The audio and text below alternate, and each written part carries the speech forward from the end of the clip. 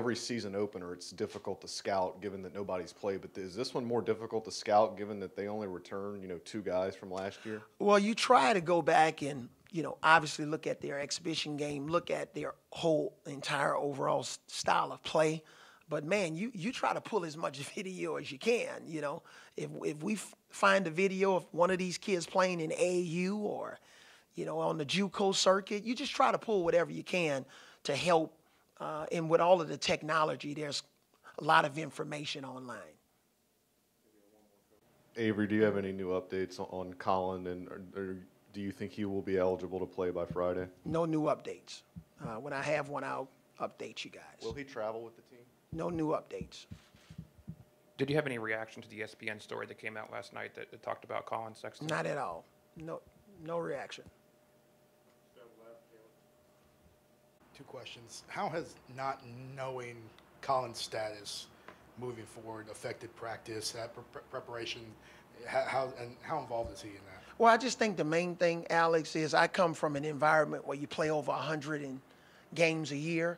And if you're playing 100 games a year, whether that's preseason, uh, regular season, and playoffs, you don't know guys' status sometime. And guys get injured or whatever the case may be.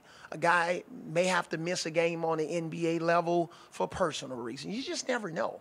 So you have to adjust. So this doesn't really phase us in terms of preparation.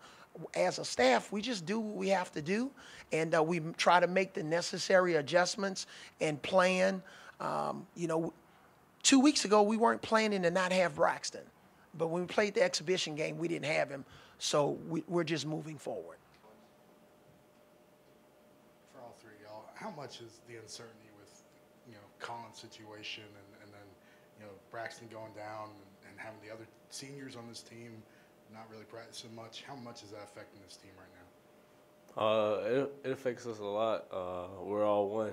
Uh, Braxton going down, that's big for us because he, he provide a lot of a lot of scoring for us as well as the players on the court. And Colin going down, uh, that's just a day-to-day thing with him. So we're, we're unaware of that situation.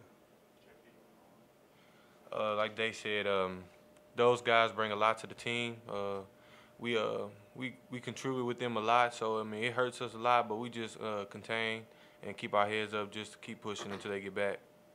just piggybacking on what they're saying, um, Collin's our brother, Braxton's our brother, so we just got to pick up um, where they left off. And um, Collins day to day, just like Dejan said, and uh, Braxton will be back in no time.